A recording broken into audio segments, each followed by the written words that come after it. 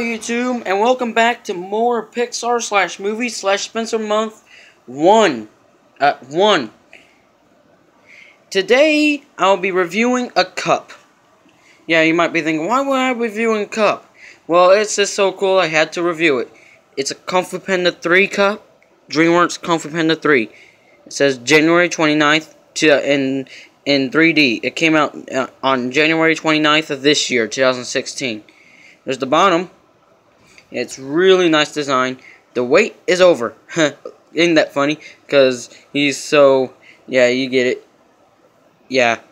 Really nice cup. I really love the Kung Fu Panda franchise. Yeah. Just stick you guys in there.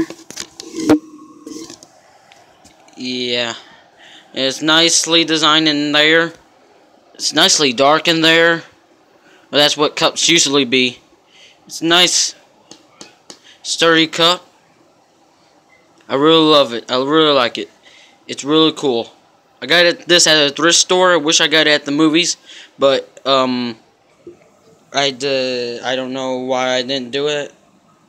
But you know, it's from DreamWorks, so that's really cool. I love movies and shows. I love racing the punches. You guys know. I love the Panda fr franchise. I think the second one's the best, although I still like the others because I still really love the Panda franchise. You know pose, like eating the dumplings right there. And there's all the other pandas. And the China wall. And the wait is over. The logo Kung Fu Panda DreamWorks Kung Fu Panda 3 June 20 January 29th 2000 June January 29th in 3D for, of this year 2016. Yeah, it'll be coming to DVD this month. I don't know I don't know when, but you'll but you can find out online which is where you are at, which is where you guys are online now. You can do it on Google or Amazon. Doesn't really matter. But it's still a cool, cool cup. I love the Kung the franchise. I love movies and shows, and I love racing. Okay, bye YouTube. Have a nice day.